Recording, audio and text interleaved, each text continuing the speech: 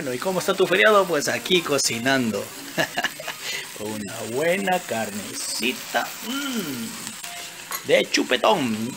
Rico. Vamos, sí, sí, vuelta, vuelta, vuelta, vuelta, ya. Bueno, ya acabamos. Ahora sí, vamos a comer.